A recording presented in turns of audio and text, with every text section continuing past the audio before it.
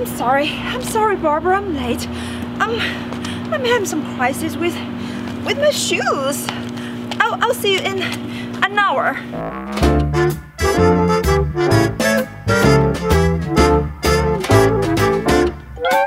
I was a commuter before. I would take the train and walk and transfer and walk. I got these flats because, well, aren't they supposed to be the best for walking? Um, not exactly. If your feet are small like mine. Now, me and my manager Barbara, she's not too bad, except when. Oh, hello. Where the heck are you? I'll, I'll see you in an hour. I gotta go. The train is here. So let's talk about the shoe issues only you and me would understand because we got smaller feet. Starting with the flats. These are supposed to be the most easy options, but only for other people who don't have smaller feet. If you happen to have small shoe size like myself, I am four and a half on the left, five on the right. Looking for a pair of flats that you can actually wear was extremely hard. This is especially true if they are ballet flats, which have very low vamps and also they have no straps. It was next to impossible for me to find a pair that would actually stay on my foot. So what is the solution for that? First off, you can ditch the ballet flats and go with loafers instead, like this. Very, very similar to flats because it got no heels, almost. The vamps of the loafers come up much higher here, so that is gonna help a lot in terms of keeping your shoes staying on your foot. This specific pair is from Amazon. It's Amazon Basics, $25. It is quite walkable. Padded footbed, arch support, and this is not completely flat, slightly heeled. And this is gonna look better and also be more comfortable. I know you are busy shoe shopping. If you like this video so far, give me a thumbs up. If you don't like it, that's gonna make me sad. But I still would like to know that. If you're new here, I would love to have you come back. Hit the subscribe button. Loafers, since they don't have heels, and if you are short, if you have shorter legs, you're not gonna get the height boost. To counterbalance that, you can go with pointed toe loafers. It can still elongate your legs. Just when I was about to return this to Nordstrom Rack, I found on Amazon this lifesaver. Ta-da, the heel grips. I tried something very similar in the past, but it was just the back piece. This flat is not leather, this is synthetic material, so if it's just a back piece, less likely gonna stick. The difference with this one, it has two pieces connected together. One goes to the back of your heels and another one goes to the front piece. By the way, this is called heel grips, but as you can see, I'm using it on my flats and it works exactly the same way. You really gotta make sure the back piece aligns really well with the back of your flats or heels so that when you walk, it's not gonna move around. So now with these grips, I can actually walk in these flats now. I am gonna keep them, yay! I mean, I haven't tried to walk long distance in these flats yet, but still, I can tell a big difference.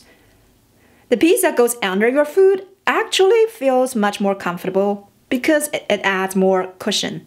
Another benefit with these heel grips, if you happen to have uneven shoe size like me, I have four and a half on the left and five on the right. My option is to size up or size down with my shoes. I always size up to size five. So that means four and a half left foot, it's always gonna be, well, most of the time, it's gonna be slipping out of my shoes, whether it's flats or heels. So in that case, I use only one of the grips in the back of my left foot. And that helps a lot. And why do I never size down? Because nobody makes four and a half shoes, so my only option is to go down to size four, and that means I probably will end up like Cinderella's stepsister. I'm a one. I'm a one. Another option, flat mules like this one. This is my favorite, especially when the weather gets hotter in the spring, in the summer. Mules are a great choice. They're very walkable. This pair is from Steve Madden. Because it's only covering you in the front, you don't ever have to worry about your foot or slipping out of your shoes anymore. I always go with either black mules, which I can wear with black pants, or nude mules, which goes with literally everything from skirts, pants to jeans. My top choice is always pointed toe or almond shaped toe because that's just gonna elongate your legs without heels. Now let's talk about heels. If you're petite like me, or if you happen to have shorter legs, chances are you love heels. I know I am indeed a heels girl. Unless I'm walking, unless I'm commuting, most of the time I am wearing heels. Heels, I found the most difficult is pumps. Why? Because pumps got no straps. So the same problem. Most of the time, the pumps are gonna be slipping out of my foot. Over the years, I have tried so many different brands for their pumps. 8 out of 10, I had to return them because there's just no way that they're gonna stay on my foot. So once I do find a pair that actually stays on my foot, that actually I can walk in them, that actually doesn't hurt when I am standing for a long time, I would go back and purchase different colors for the same style from that brand. But now with these heel grips, I can also use this in the back of my palms and this is gonna prevent my shoes from slipping off of my feet. Another benefit, this can also reduce your chances of getting blisters from your pumps. In the past, if I get a pair of new shoes, doesn't matter it's heels or flats, they tend to cause a lot of blisters in the back of my feet and sometimes it got so bad I had to use band-aids. But this is gonna add another layer of cushion between your shoes and your feet so this is gonna reduce your chances of getting scratched. Another solution is to go with ankle straps. I do have to caution you, if you happen to be petite, if you have shorter legs, ankle straps have the risk of making your legs look shorter. Why? Because it is a horizontal line right at your ankle. So if your ankle strap is black shoes or any other color which has a very sharp contrast to your skin, very likely they're gonna make your legs look cut off what is the solution for that? I realize we're talking about a solution for a solution. Anyways, solution for that, go with nude ankle straps on nude shoes. Nude is not the name for just one color. Family of colors, beige, tan, camel, or even taupe. Whatever your skin tone is, darker, fair, find a shade that is closest to your skin tone. And that is your shade of nude because you want the ankle strap to blend with the color of your skin. And that's gonna make sure your legs will not get cut off when you wear ankle straps. I would also suggest you go with skinny ankle straps versus big ones because the wide ankle straps are even worse. They're more likely to make your legs cut off compared with the skinnier ankle straps. If you have small shoe size, 5, 4, or even smaller, where do you even find your size? I am a 5, well, 4.5 and 5, but I go with 5.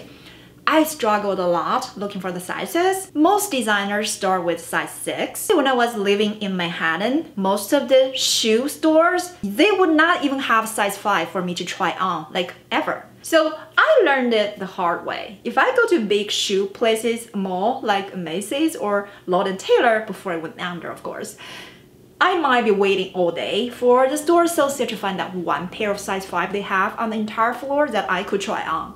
So to save my time, I learned the best way, the most efficient way to shop is to go online. That's where you can immediately find your size. Nordstrom and Nordstrom Rack, those are two of my favorite places to look for my shoes. Nordstrom carries such a big price range, it's very possible you can find the style you like and in your price point, in your budget. If you're looking for splurge, the luxury premium designers, Gucci, Ferragamo, Louboutin, they make small sizes, 5 and 4. Also, if you're looking for everyday kind of brands, you can find Tory Burch, Sam Edelman. They also make 5 and 4. I also like comfortable brands, Naturalizer, Ecco. Those brands also make size 5 and size 4. You can find all of them at Nordstrom. And also you can find some of them at Nordstrom Rack. When they're discounted and taken off the shelf from Nordstrom, they're gonna go to Nordstrom Rack. So that's where you sometimes can find really good deals. Nordstrom also has some size 3. If you are under 4, you can also look at Zappos because Zappos start with 2. Another place I've heard great things about is Cinderella of Boston. So if you are size 2, 3, and 4, make sure you also check out Cinderella of Boston.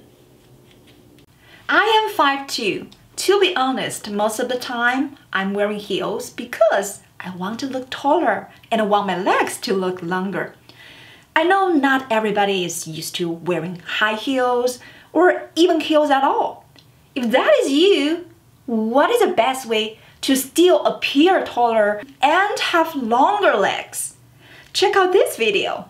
In this video, my secret sauce, how to use the rule of thirds, divide your body into the most ideal proportion so that you look taller and leaner, have longer legs, even without heels.